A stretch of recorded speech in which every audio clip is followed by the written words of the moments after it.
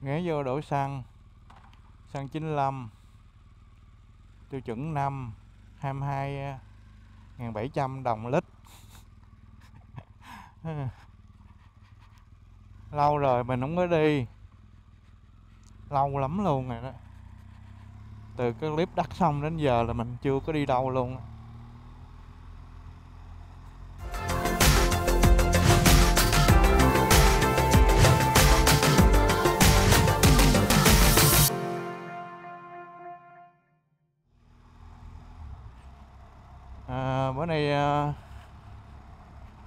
Mình chạy ra ngoài à, chỗ gần suối tiên á. Admin của à, bên à, motorcycle Việt Nam có cái à, hoạt động thiện nguyện vào sáng sớm.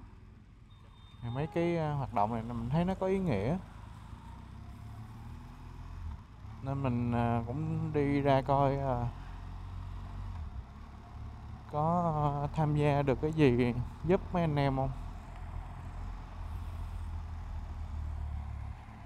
Xe lâu lắm mà không đi, hôm nay đi thấy nó êm dữ người ta. Tự thao túng tâm lý mình luôn.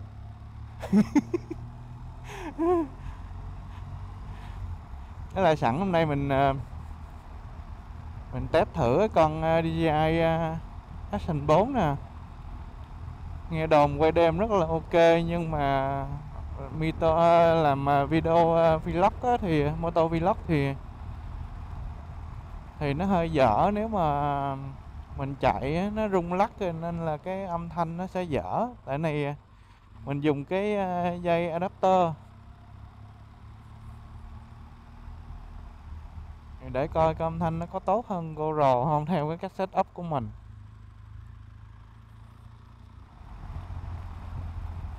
Mình ờ, dùng nó làm cái GoPro phụ à, làm cái máy quay phụ cho thằng GoPro mình đang dùng rủi mình đi ờ, xa ờ, một trong hai thằng nó có vấn đề rồi còn có máy backup. À, cái thứ hai thì mình có thể làm một cam chính một cam phụ để quay chiều ngược lại để tương tác với mọi người cho nó dễ nên thường mình dùng hai hai cam.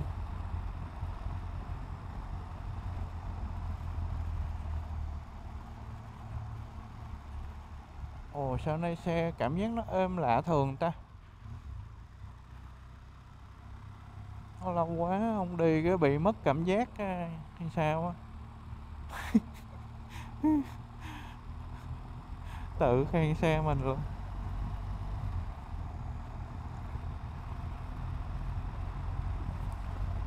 Rồi bây giờ mình sẽ hướng về suối tiên ha. Ở trên đường đi thì mình sẽ nói chuyện ờ,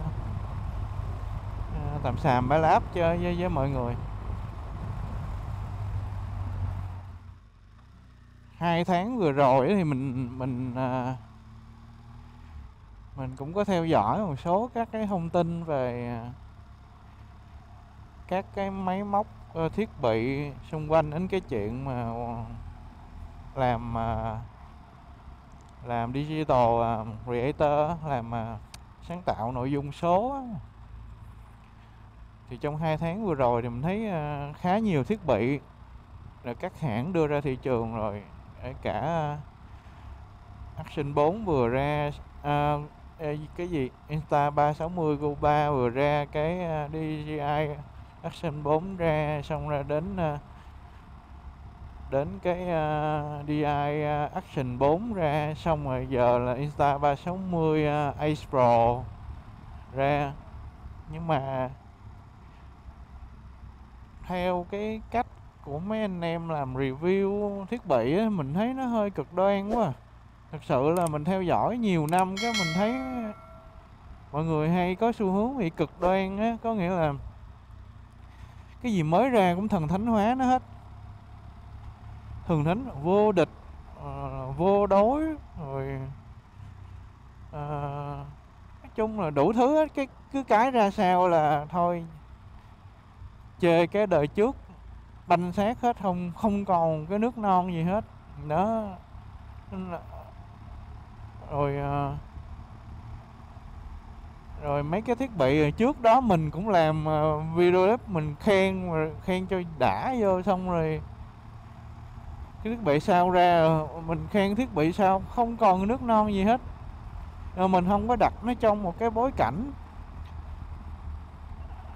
của cái thằng ra trước và thằng ra sau. Và mình đặt trên một cái ờ, trong một cái cái ờ, cái hệ quy chiếu là cái nhu cầu của người dùng, thì mình review nó mới xét được. Chứ mình thấy cứ thằng sau ra là khen nứt nở, khen kiểu để ờ, cho đi mua cái đầu mới á. Rồi mấy anh em mà cứ có có cái suy nghĩ thần thánh hóa bất kỳ một cái thiết bị nào đó. Xong mua về, mua đồ mới mua về, xong mới lên mạng hỏi tùm lum, mới hỏi giờ setup làm sao cho nó cho nó quay đẹp, nó thấy quay tệ quá, không như mình nghĩ. Trời ơi. Kiểu một cái một cái cuộc chiến mà không hồi kết. Cuộc chạy đua vũ trang không hồi kết. Đấy ờ, mình mình mua, mình đánh giá nó cái gì thì nó nó phải dựa trên cái nhu cầu của bản thân mình. Còn nhà sản xuất, người ta chỉ sản xuất dựa trên cái nghiên cứu thị trường mà họ cho rằng là nó đáp ứng được nhu cầu của đa số, đa của đám đông. Còn mình xài cái gì thì mình phải biết không? Chứ không thôi là cái gì ra mình cũng chạy ờ, theo hết rồi tiền nào chịu cho nổi mà về xong xài không như mình tưởng tượng cái chán. Bóc kết ba ra đời cái thôi. Là ờ, nào là chơi bóc kết hai quá trời. Rồi cứ cái mới dùng đi bạn. Coi điều kiện kinh tế người ta, rồi nhu cầu của người ta như thế nào nhé Ờ, DJI 4 ờ, chắc gì nó không có lỗi. Đó thấy ờ, thí dụ như mọi người nói là motor vlog thì cái âm thanh nó không được hay, chạy rung lắc. Rồi hình ảnh thì nó nó không không có sắc nét có màu nó trong điều kiện sáng tốt thì màu nó không đẹp bằng GoPro đó là một số người khi mà trải nghiệm về người ta review, người ta nói lại, nó cũng có những cái khuyết điểm của nó. Chứ không thôi uh, mình uh, nghe thôi. Uh, mình không có uh, không có giới hạn cái nhu cầu của mình lại. Nhiều khi mình có cần có hai ba tính năng nè mà mình cứ thấy cái cái máy nào ra cái tính năng mới hơn cái đi mua nhiều khi không có xài nó luôn á. Và mình phải tập cái cách là khai thác tối đa cái cái các cái thông số và các cái tính năng của cái thiết bị trước đó đã. À, coi là nó nó đáp ứng được các cái nhu cầu đặc biệt của mình không? Như quay đêm mua máy mới về quay đêm thấy nhấp nháy lên hỏi liên tục mà cũng không biết tại sao nó nhấp nháy. Thì bây giờ mua cái máy nào để không nhấp nháy được? Người ta gọi là flicker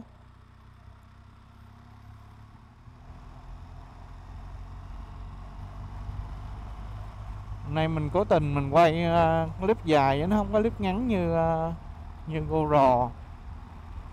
Để mình coi uh, cái khả năng uh, nó không có bị treo máy uh, được đánh giá có tốt như uh, như mấy video uh, review nói không nha. Sớm lên đạp xe đạp quá trời luôn nè sáng nay trời hơi mù ha. Ở cầu Sài Gòn. Đấy, thời gian vừa rồi á, mấy anh em uh, chơi phân khối lớn uh, khổ sở về cái cái vụ cuối năm mấy mấy anh bên uh, giao thông mấy ảnh uh, uh, ra quân. Đấy.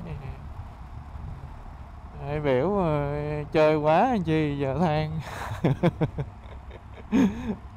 đó chạy khoe thành tích quá. Khổ thiệt. Chạy không thỉnh chạy chơi thôi. Đó là một cái lý do mà tại sao mà mình từ bỏ sport lâu rồi. Thực ra đến giờ mình mình cũng không còn cái nhu cầu với hứng thú với chuyện chạy nhanh nữa nên đi sport mà không chạy nhanh, nó là một cái cực hình. Rất cực hình luôn.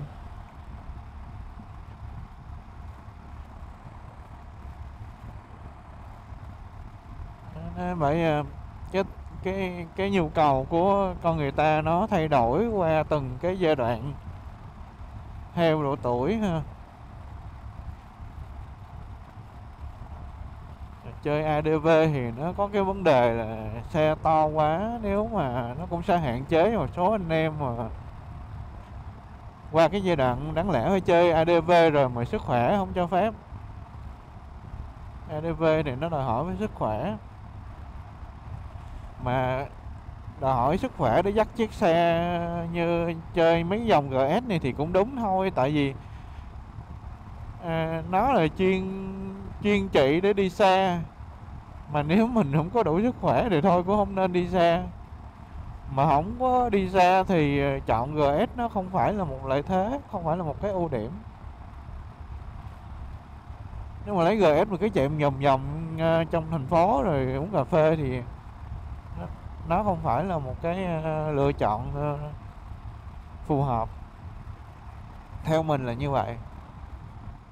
Nói trở lại cái cái chủ đề mà thiết bị á nhiều khi à, mình thấy à, anh em thần thánh nó một cách mà phi khoa học luôn.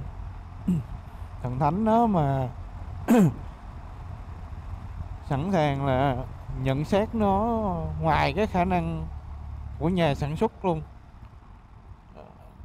Kinh khủng vậy đó.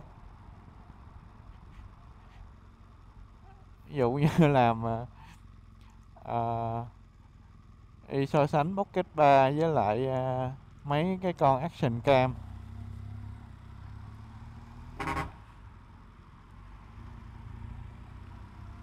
Đó. So sánh vậy á coi chịu nổi không? Rồi so sánh uh, Go 2 Go 3 với những cái loại thiết bị khác mà mình không có hiểu được luôn cái đặc điểm thiết kế của nhà sản xuất đối với cái thiết bị đó luôn. Mà mình dẫn lên review. Nên là à, mình xem mấy review riết mình mình mình là người cũng hay sử dụng thiết bị mà nghe mấy mấy anh phân tích xong cái mình à, rối luôn á. Nói chuyện mấy anh em mà chưa chơi.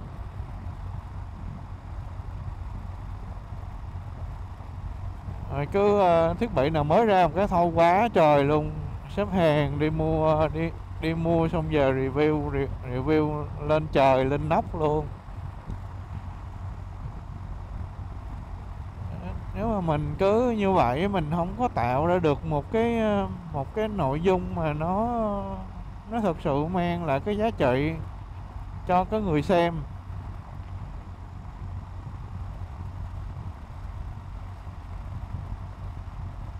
Mình mình thấy như vậy thì nó không có hay.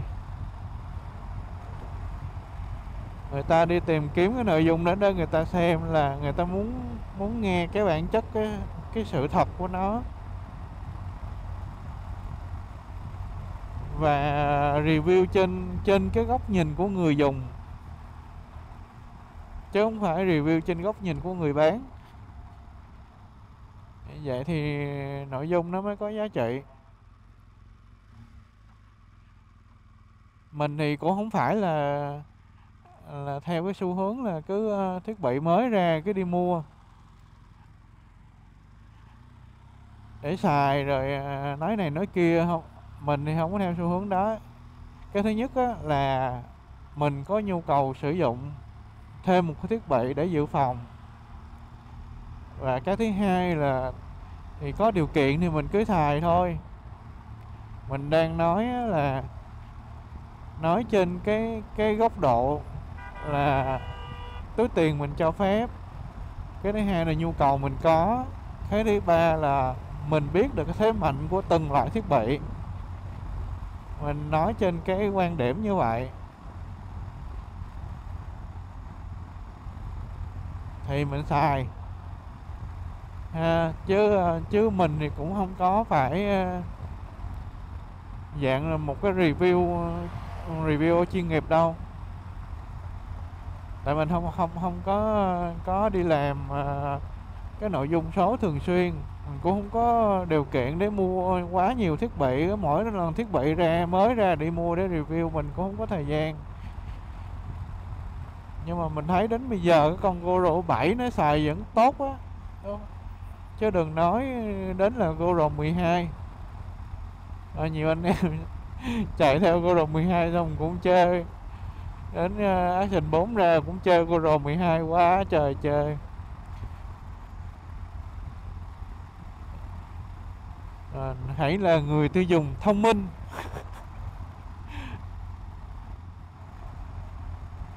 Rồi còn có mấy ngày nữa tới Tết rồi. Năm nay thấy mọi người khó khăn quá.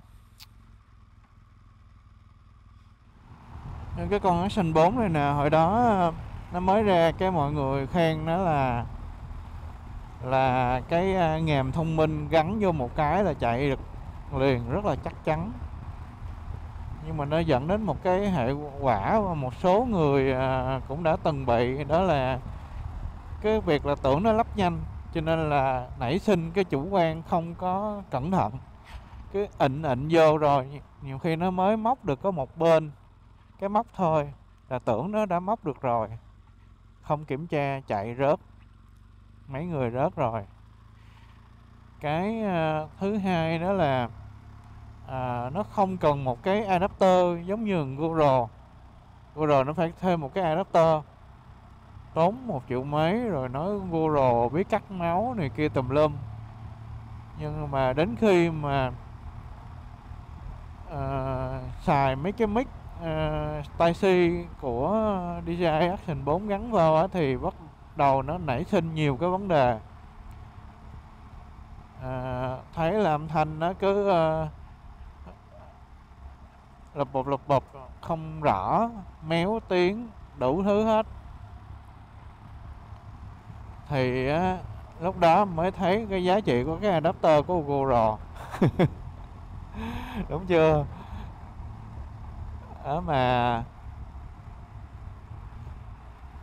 mà nói thiệt bây giờ thì DJI Action 4 cũng ra cái adapter đó dành cho moto vlog á chứ không có phải dùng mấy cái mic mà tay C gắn vô thì như vậy thì nó cũng đâu phải là một cái lợi thế hẳn so với Google đâu để gì thằng nào cũng xài adapter mà.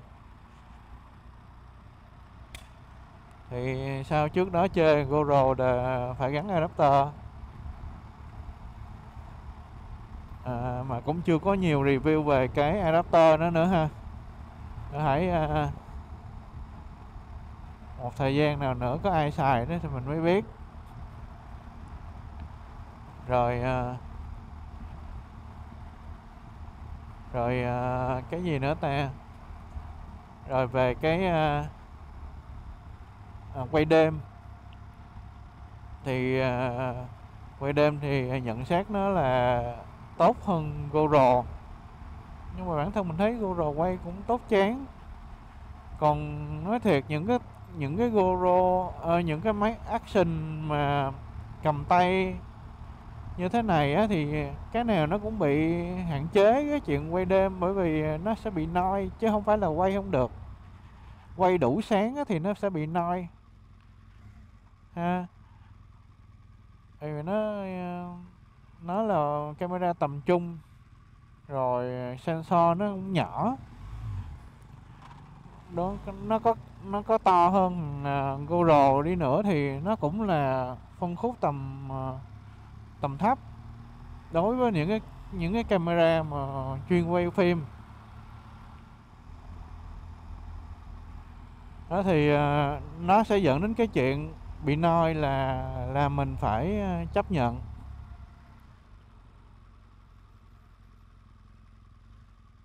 Mà mà nói thiệt nó có no chút xíu cũng đâu có phải là vấn đề lớn đâu.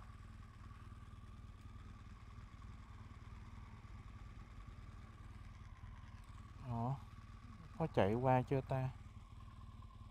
Có chạy qua nghĩa trang liệt sĩ chưa ta? Hình như ở đây. Trang hình như là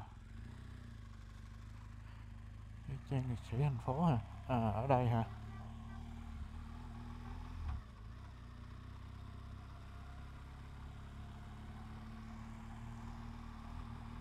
Là nói nói có bị chạy lố rồi.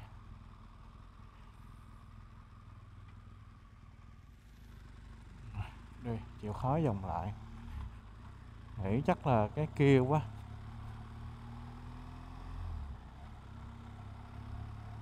Không biết phải không? Ờ, à, thì sau khi mình à, mình chạy hết cái đoạn đường đến à, từ à, từ chỗ mình ở cho đến cái cái chỗ mà cái mấy à, mấy bạn đang làm cái thiện nguyện ha, thì cái chặng đó thì mình dùng mình dùng toàn bộ cái clip mình quay. Như nãy giờ mọi người coi nó là mình quay từ DCI Action 4 là cái con này, là cái con này. Thì mình à, mình cũng chưa thể nói được hết. Như thế nào bởi mình cũng chưa có edit phim nữa. Mình đang à, đang chép file ra mình chưa có edit. À, edit phim. Nhưng mà khi mà mình kiểm tra, mình kiểm tra cái à, cái cái footage đó thì à, mình thấy cơ bản là là nó cũng, nếu mà nói về chất lượng thì đúng là nguyên một cái chặng dài mình đi là nó không có bị treo, nó không có treo máy. Nhưng mà GoPro đó giờ mình xài nó cũng ít khi nào treo lắm có treo chứ không phải là không có nhưng mà nó rất là ít bởi vì mình không có quay shot dài mà quay shot ngắn không à. Đó, chứ mình không có cầm ờ, cái máy mình quay một cả tiếng hai tiếng ờ, để cho nó treo để làm gì bởi vì action cam nó không phải xài như vậy.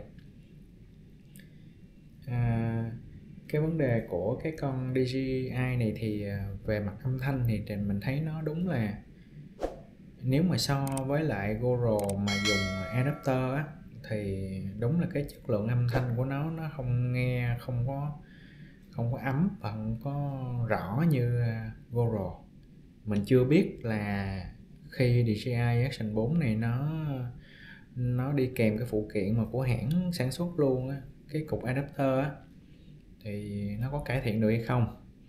Nhưng mà cái hiện nay cái giải pháp mình đang tạm là dùng cái adapter cộng dây của Boya sản xuất á, Type C, chuyển sang cái đầu 3.5 để mình gắn mic đó thì đúng là mình thấy cái cái tiếng nó nó nghe không không ấm bằng goro. Thì dĩ nhiên cái sở thích mỗi người thích tiếng ấm hay là thích tiếng chép thì cái đó gu mỗi người thôi.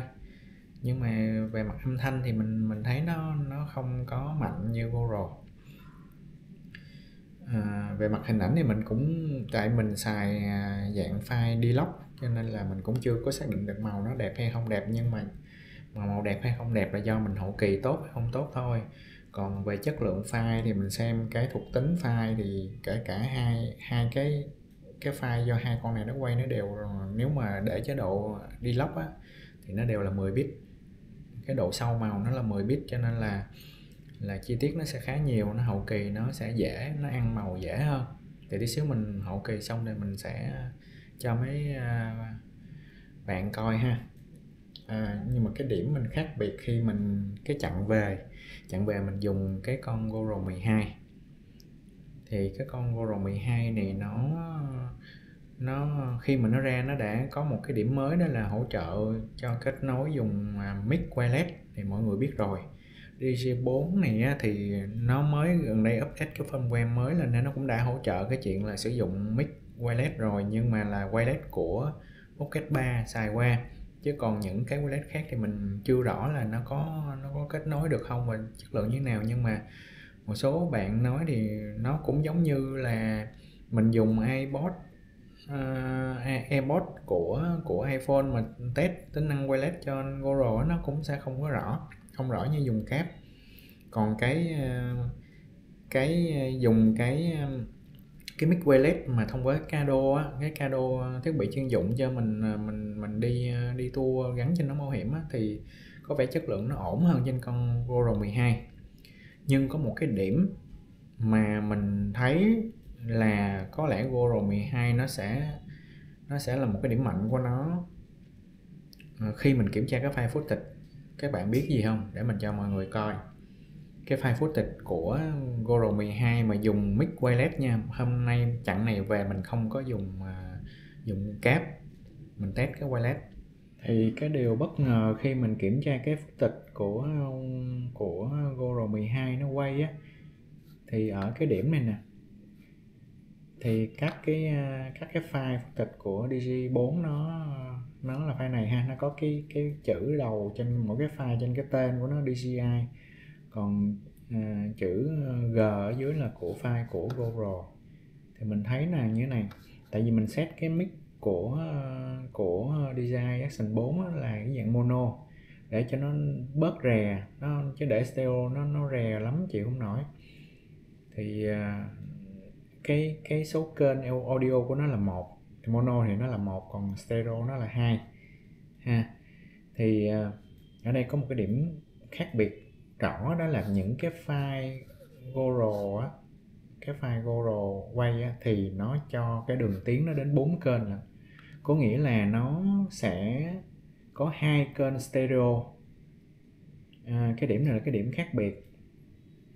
À, à, nếu như mà mình không dùng mic wireless thì nó vẫn có hai kênh bình thường đây, mọi người thấy. Đây đây là cái footage mà mình quay, nó nó chỉ có hai đường tiếng nè. Lúc đó là mình mình dùng cái cái mic của GoPro chứ mình chưa có kết nối với cả đô khi mà những, khi mà mình kết nối với Cado rồi thì bắt đầu những footage đó nó lên đến bốn đường tiếng thì mình, khi mình kiểm tra ở bên này thì mình thấy rõ ràng là những cái footage của Google nó quay nó có đến hai kênh audio rõ ràng.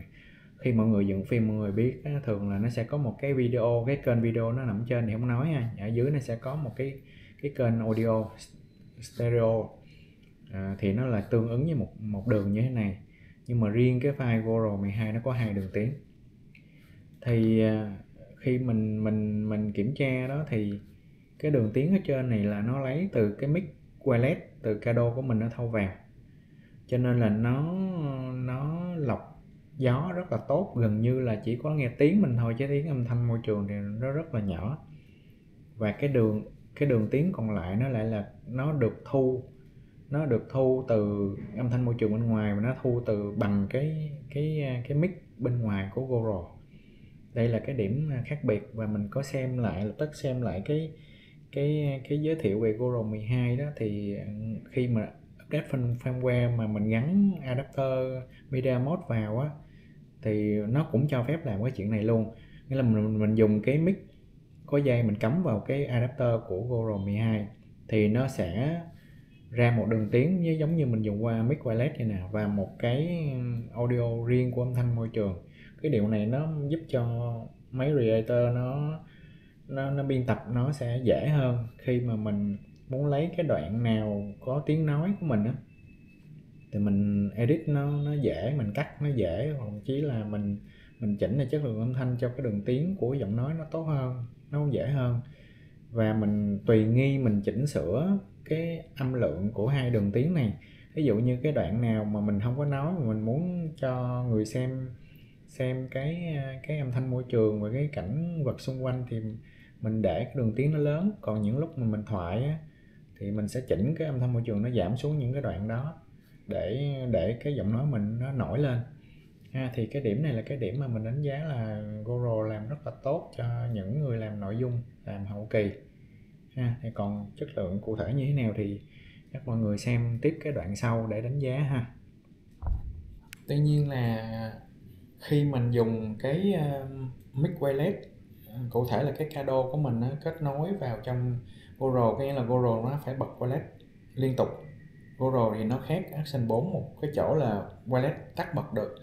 Còn Action 4 thì mình không chưa tìm thấy được cái menu nào mà tắt cái Wallet cả. Nó coi như mặc định mình mở máy lên là Wallet nó chạy suốt. Nhưng mà cái tốn pin của Action 4 á, thì nó ít hơn là là Goro cụ thể là mình xài thì mình thấy cái tiêu hao pin của nó nó chậm hơn Goro Goro mà mà bật wireless lên mà còn kết nối với một cái thiết bị bên ngoài thì nó hao rất hao pin. À, cụ thể như trên cái chuyến đi mình đi từ cái điểm mà phát cơ mà về đến nhà đó là nó gần như nó tiêu hao gần 50 phần trăm cái viên pin mà pin của mình đang xài là pin pin trắng pin Enuro của Goro 12 á. Như vậy thì cái tiêu hao của cái cái điện năng của của Goro 12 nó cao hơn Action 4 là mình thấy rõ à, như vậy thì nếu như mình dùng mic wireless để nó tiện cái việc đi dây và mình chấp nhận được cái rủi ro là có khả năng nó bị gián đoạn tiếng á, rồi mình mình chỉnh sửa mình cắt bỏ đoạn đó hay gì đó thì đánh đổi là cái chuyện là mình sẽ gọn nhẹ không cần adapter không cần gắn mic và đi mưa thoải mái. Thì mình dùng giải pháp là mic uh, mic wireless nhưng mà nó đánh đổi lại là cái chuyện thời lượng pin nó sẽ ngắn đi. Như vậy thì nó chỉ phù hợp dùng mic wireless với là Goro 12 cho những chặng đường nó ngắn hoặc là đi dạo phố gì đấy. Chứ còn ờ, với ba viên pin mà nó tiêu hao cả đó thì mình đi những cái chặng đường như ADV đi bảy tám trăm cây số một một chặng thì nó không đủ pin để xài. Cho nên là nếu như đi những chặng dài như vậy, cá nhân mình mình sẽ vẫn sử dụng là cái mic qua adapter cho Goro 12 để nó tiết kiệm pin à, dự phòng pin. Còn à, còn cái cái cái lợi điểm mà mình thấy à, Action 4 nó có nổi trội hơn đây là cái cái tiêu hao à, năng lượng pin của của Action 4 nó tốt hơn Goro nghĩa là thời lượng pin sử dụng sẽ lâu hơn. Mặc dù là cùng cái chế độ sử dụng wireless sử dụng quay D-Lock 10 bit như nhau nhưng mà tiêu hao năng lượng thì Action 4 nó tốt hơn cho nên nhiều khi mình xài Action 4 chắc mình nghĩ hai viên pin là đủ nhưng mà Goro 12 là ba viên pin là đi đường xa mà dùng wireless nhiều là sẽ thiếu ha. Đó thì cái cảm nhận đầu tiên khi mình mình dùng mình dùng hai con à, hai cái con mà đình đám bữa giờ cái tranh cãi hoài á, à, nó là như vậy.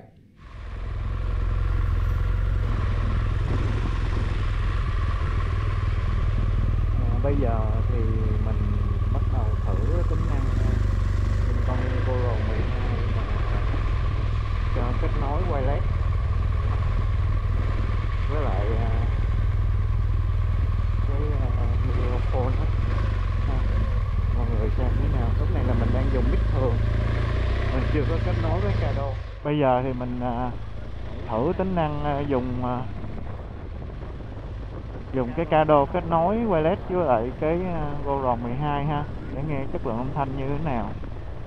Sợ wireless đó đi đi tốc độ cao thì nó cũng sẽ rè rè. Nhưng mà để thử coi. Cao lắm đâu.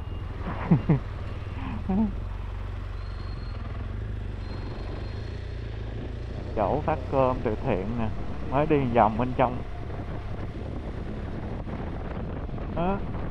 Thì mọi người nghe cái âm thanh mình à, kết nối từ à, cái cado vô cái này nó như thế nào ha? À, để có một cái dịp đi xa rồi đó mà đi ờ, hơi nhanh một chút rồi để test coi cái wireless nó ổn định không nha. Wireless thì ờ, nhiên là nó sẽ không có an toàn bằng ờ, mình, cái chuyện mình lấy cái micro mình cắm qua cái adapter. Thì thế chắc cú hơn. Còn wireless thì mà mình làm motor vlog như vậy mình đâu có biết nó quay vô hay không, tại mình đâu có nhìn thấy cái màn hình đâu. Cho nên là nó cũng sẽ có những cái tình huống mà nó sẽ bị là tín hiệu mà mình không biết.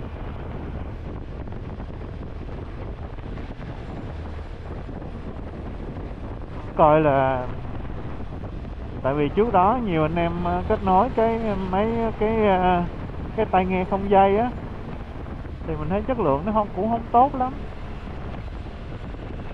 giống như là cái cái ờ, hỗ trợ ờ, DJI ờ, mới ra mà xài với mic DJI vậy á. Chắc một thời gian nữa nó mới ổn định nhưng mà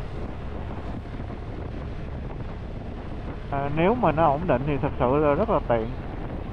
Vì nó không có qua doctor thì nó cái GoPro nó sẽ gọn hơn. Phải đi uh, thêm dây nhợ thêm cho cái mic nữa. Xài thẳng cái cado luôn. À, cái thứ hai mình đi à, xa mình đi xa nếu như mà gặp trời mưa lớn á nước nó lòn vào trong những cái khe của adapter thì nó dẫn đến cái chất lượng à, âm thanh nó sẽ bị à, thỉnh thoảng nó bị mát á. Nó không nó không lên tiếng nó không có tín hiệu âm thanh. Thì mình đi bằng cái GoPro GoPro như thế này thì nó sẽ đảm bảo về à, chống nước tốt hơn. Nãy mình không có để ý là cái à, cái mèo mình mới gắn nó nó bị bị à, bị, nó bị tụt á. Mình gắn không có chặt lắm, nên là cái cái DJI mình cảm giác như DJI nó nặng hơn Goro 12 á nên là nó nó cụp cái máy xuống. Rồi nó cụp xuống thì quay dưới đất chứ không có quay đường được. Nên một số clip mình sẽ cắt. Chủ yếu là trong cái clip ngày hôm nay là mình so sánh cái chất lượng file à, file bên kia thì dùng à, file à, Deluxe M còn bên này là xài Deluxe thì coi cái chất lượng nó như thế nào. Với lại cái âm thanh, một cái xài cáp, một cái xài wireless như thế nào ha? Mình phải test nó trước trong những cái tour ngắn ngắn về nè, rồi à, đi hành trình dài thì mình biết cách xử lý nó tốt hơn. Này mình quên bật tính năng à, quay 30 giây nên thấy nó quay hoài nhưng mà cũng chưa thấy treo. Về về cái cảm giác mà bấm cái nút đó nha thì mình vẫn có cái cảm giác là thích cái Google hơn. Nó nhẹ, nó mềm hơn là cái DJI Action 4 biết các đời ờ, trước của Action ờ, thì nó như thế nào nha. Mà so với Google 12 mình đang dùng thì nó vẫn thua hay về cái cảm giác để bấm ờ, bấm nút á. Về à, chất lượng à, ảnh thì để về mình coi như thế nào. Thì à, nếu nếu mà nếu mà cái chất lượng quay ngày của Pro nó ra cái màu đẹp hơn, hay chất lượng hơn, thì GoPro dùng làm cam chính sinh mình chỉ để à, dùng cho quay quay đêm. Hoặc là mình làm uh, vlog cái kiểu mình nói chuyện á. Tại vì uh, thấy thấy một số anh em review thì cái cái nước màu uh, cho vlog nó lại nó da rồi nó mịn hơn. Với lại cái uh, cái khuôn mặt nó không có bị uh, dùng cái uh, Android á cái view góc rộng á nó mặt mình nó không có bị to. Thấy admin ờ, của ờ, motorcycle Việt Nam ờ, chịu khó ghê chứ. Thấy uh, duy trì đều đặn. Cái cái lịch mà đi phát cơm không như vậy hay. Nghĩa. Những công việc thật sự nó có ý nghĩa thì sự là mình thấy hay. Và phải uh, chỉnh là cái nghề mới được. Tại mấy mấy bóc thiết bị mà trước khi mấy cái uh, chặng dài là mình phải có những chặng ngắn đó mình kiểm tra. Đi xe là thấy uh, ngon uh, một cách bất ngờ bất thường luôn. Ngon bất thường luôn. Em em hơn ngày thường đó. Tại vì mình bị mất cái cảm giác đó lâu, lâu quá mình không có chạy nó nên là không có nhớ được cái cái cái, cái... nhưng mà cảm giác là nó êm hơn êm hơn thấy rõ Nay trời, vẫn còn mù ha. Giờ này vẫn còn mù nè, đó, mọi người.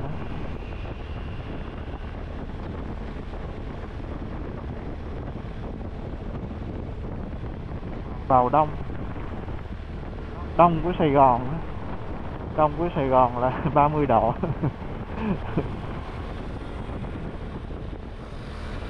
Sáng sớm, dậy sớm, giờ đói bụng quá.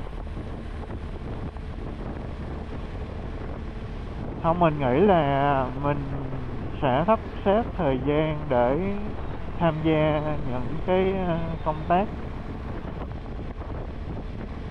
thiện nguyện như ờ, các bạn S rồi bạn đang phát động á.